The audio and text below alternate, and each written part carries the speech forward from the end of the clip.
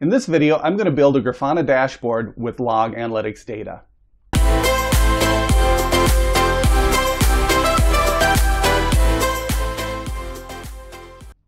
Hello and welcome to Ciraltos. My name is Travis Roberts.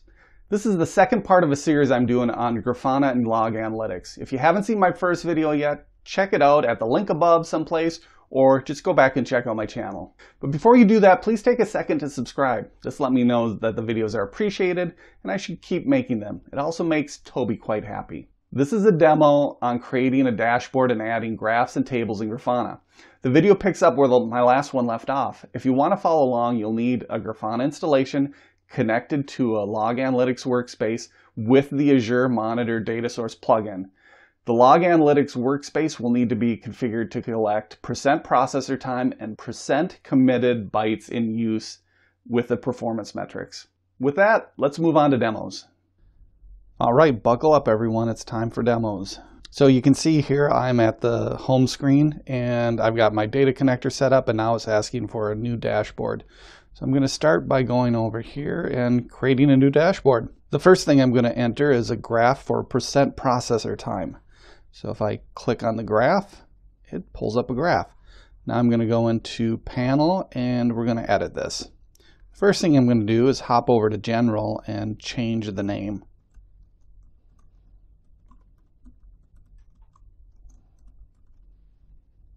Okay, so now that I have that, I'm going to go over to metrics and I'm going to change this to log analytics as a service and the workspace will be the workspace that I am querying.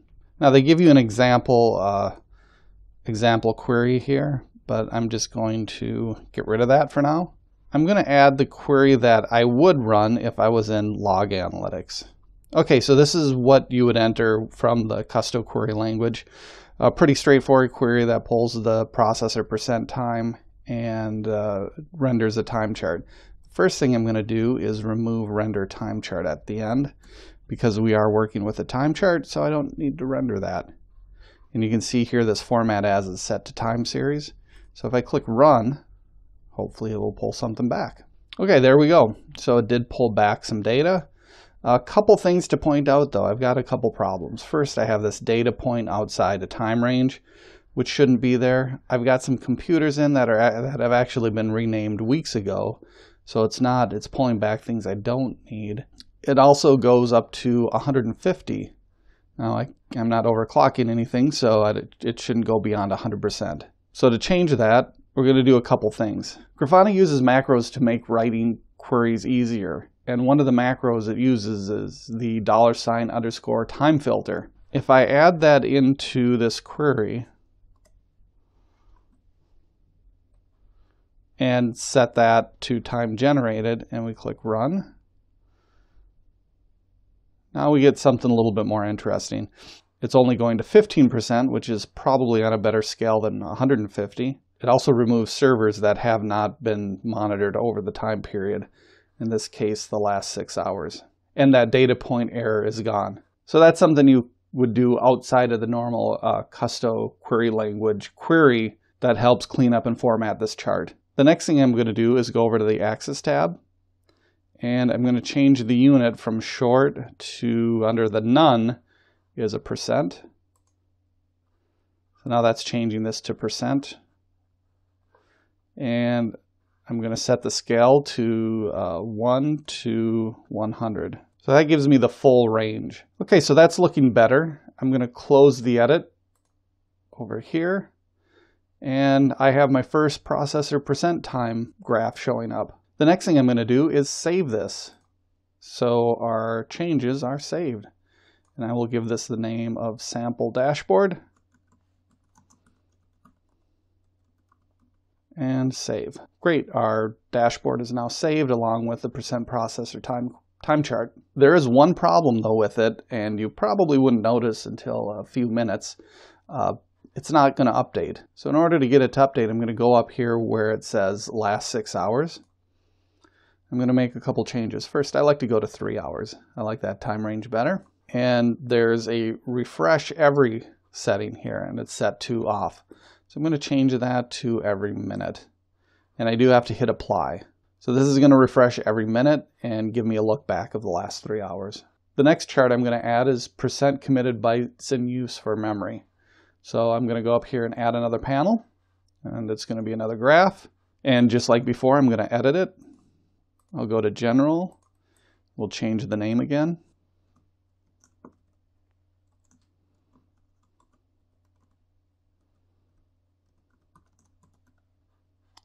I'm going to go to metrics. And just like before, I'm going to change to log analytics and change my workspace. We'll select all of that and paste in the new query. This again is just like any query that I would run within log analytics, only I've taken out the render time chart and I've added the time filter macro. Now if I hit run, we should see committed bytes in use. There it is. And just like before, I'm going to go over to axis. I'm going to change this to percent and change the axis to 1 to 100. There we go. I'll close that. I'm going to save again. And I can add notes. I don't need to add notes. So next I'm going to add another panel. This time it's going to be a table because I want a list of all the servers that are being monitored. So I go up here and I'm going to go into edit again and I'm going to go to general and we'll change this to monitored servers.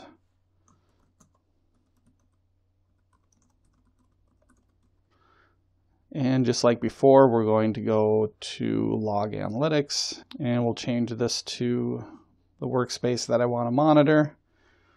I'm going to delete that and here I have a simple heartbeat query that's going to pull back the uh, computers monitored in the last two days or 48 hours, and it's going to pull back a list of distinct.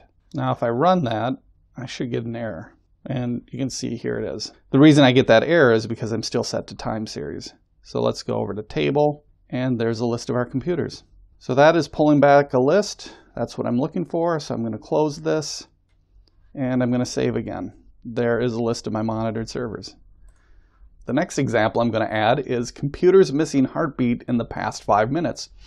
So out of those computers that are being monitored, I would like to know if one of them quit sending heartbeat information. Just like before, I'm going to go to add panel, table. We're going to edit it. I'm going to go to general and we'll name this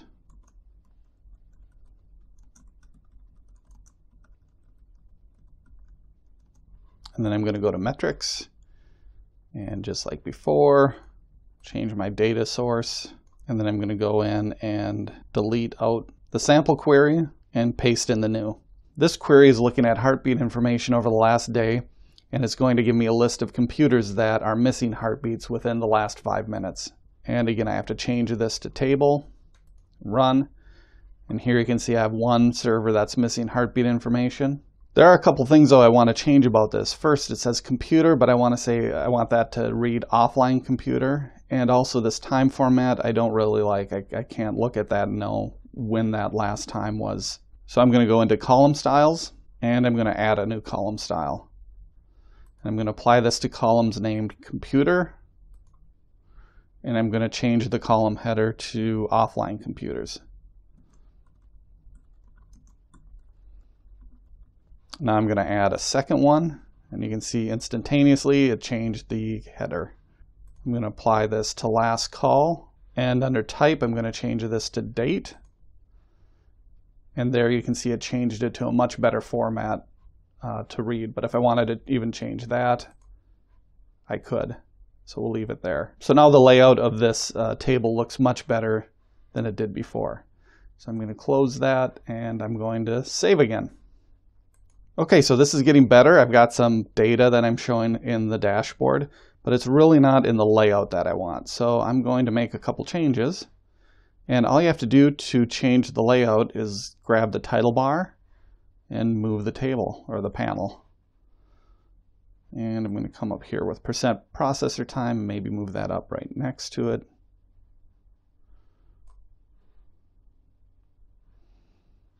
I'm going to move monitored servers over here. And this doesn't need to be that wide, so there's a drag handle here. I can make that narrower.